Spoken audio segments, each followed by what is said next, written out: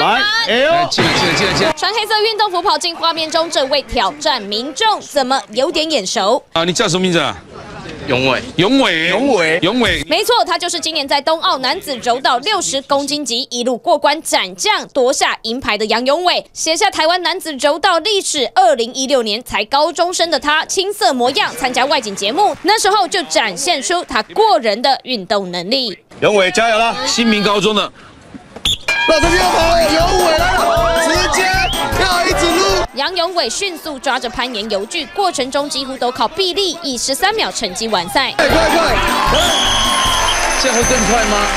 哇，威猛的手臂力量加上爆发力，让主持人也相当惊讶。他蛮厉害。你体育系的啊，嗯，对不对？你学什么运动？